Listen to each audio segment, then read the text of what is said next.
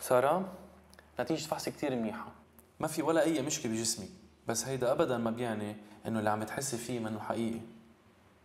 من شو بشكي دكتور؟ يعني في شي فحوصات لازم أعملهم؟ لا لا أبدا. هلأ بالوقت الحالي ما في لزوم لفحوصات. بعتقد إنك عم تمرقي باكتئاب. اكتئاب؟ أنا مش مجنونة دكتور. أكيد منك مجنون يا سارة. الاكتئاب حالة بتصير مع حيلا حدا.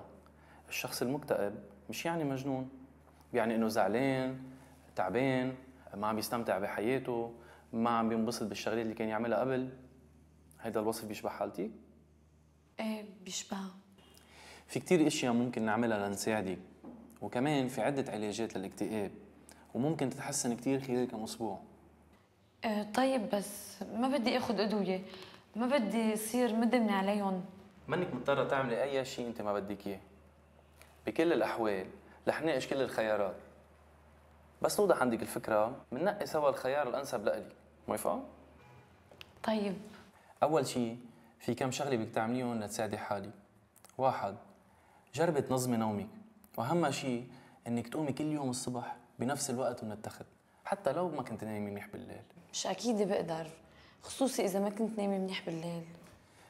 بفهمك يمكن تكون صعب عليك بالأول لأنك بتكوني تعبانة.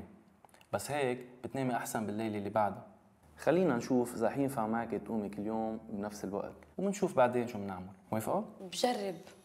وشو لازم أعمل كمان؟ جربي تمشي 45 دقيقة ثلاث مرات بالأسبوع. حتى لو كنت تعبانة هيدا الشيء كتير رح يفيدك. رح جرب. كمان جربي تعملي أشياء عادة تستمتعي فيها حتى لو حاليا ما بتعني لك. خصوصي نشاطاتك الاجتماعية مع الأشخاص اللي أنت بترتاحي لهم. مثل أصحابك أو عائلتك؟ آه طيب بس دكتور ماني اكيدة إني قادرة أحفظ كل الأشياء اللي قلت لي إني أعملهم. بتحبي أعد لك إياهم أو بتحبي تكتبيهم؟ آه إيه شكرا. تفضلي.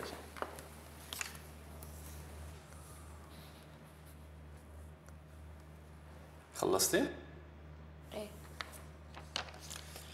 بعرف إنه ما بدك تاخدي ولا دواء بس في أشرح لك شوي عن الموضوع. طيب. أول شيء لازم تعرفي إنه مضادات الاكتئاب يعني الأدوية اللي بتستعمل لعلاج الاكتئاب ما بيسببوا إدمان. وإذا أخذهم الشخص بالطريقة المناسبة بيساعدوا كثير ليتحسن. وقد إيه لازم ضل اخذهم يمكن تحتاجي تاخديهم من 9 شهور ل 12 شهر. لا. لا دكتور ما بدي آخذ أدوية. ما في مشكلة. مثل ما قلت لك منك مضطرة تعملي أي شيء أنت ما بدك إياه. فينا نلتقى بوقت تاني ونناقش الموضوع إذا بدك.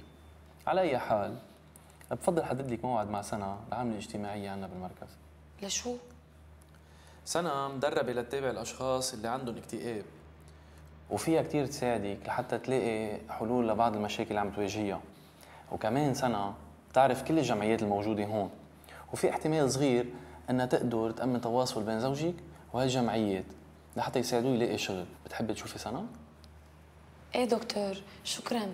سارة لحدد لك عندي موعد الأسبوع اللي جاي لحتى نناقش وضعك ونحكي أكثر عن الأشياء اللي فينا نعملها لحتى تتحسني طيب.